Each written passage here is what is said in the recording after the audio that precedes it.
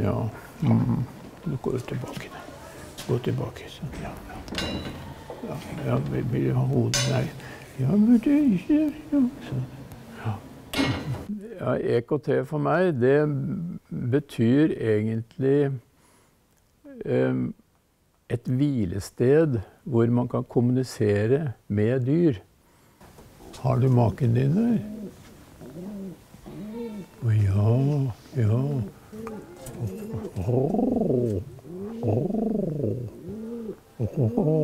Ja. ja. Mikael og konen Sissel har drevet besøksgården EKT i snart 40 år. Den har lenge vært et populært sted for barn og voksne. Gården har vært på randen av konkurs to ganger siden landet stengte i mars. Da følte jeg at vi sto på kanten av et stup, og hvis vi ikke stoppet, så vil vi falle utfor og omkomme. Det verste er jo at det tilbudet forsvinner jo Ja. eh, til alle barn og unge. Ja, det er det med tilbud med hest og sånt. Men eh, jeg vil jo tro at det skulle gå an at de kommer til å overleve det, da.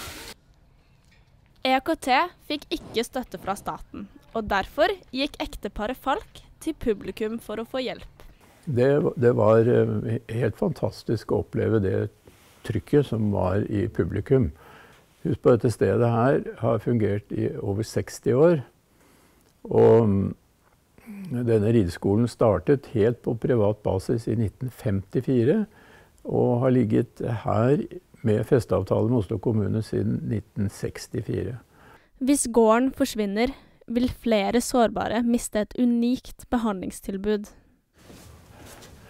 Dette er en time i ridefysioterapi. Og instruktør er Sissel Thorsson Falk. Dette har hun holdt på med siden 1967, uten avbrudd. Hun har født fire barn. Hun har aldri hatt permisjon fra denne type jobb. Det er um, behandling hvor hesten er terapeut, og for fysisk og psykisk varig funksjonshemmede. Så skal du føre venstre ben litt tilbake. Da tenker du den sjekken litt tilbake. Prøve å få det til. Og føre den hånden litt frem. Mikael, du må rope ut. Han jeg kommer, står på døren. Jeg så Nei, men ja, det gjelder ikke det. Det gjelder ikke det, skjønner du, for en ridelærer. Nei vel. Fravær.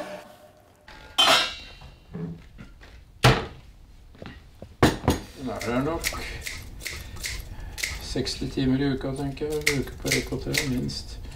Hvis du er daglig leder, så teller du ikke timer. Så mm, når det slår inn mye sånn, eh, sånn uforutsette oppgaver, så nytter det ikke å ha middagen klar klokken fem. Altså, da, da, da må den som er der borte og har ansvaret, må bare kaste det hun har i hendene og, og gjøre jobben der og da. Etter mye om og men har EKT nå fått støtte fra staten. Det betyr at driften kan fortsette, og det sentimentale hvilestedet ikke trenger å stenge dørene for godt. Her kan det jo komme barn med foreldre og besteforeldre, og alle har ridd ved EKT rideskole, eller vært her og besøkt dyrene. Og det, det tror jeg um, Det at vi har eksistert så lenge, og det tilbudet vi har, som er uh, veldig lite påvirket av motesvingninger, det gjør at folk er glad i det og ser verdien av det.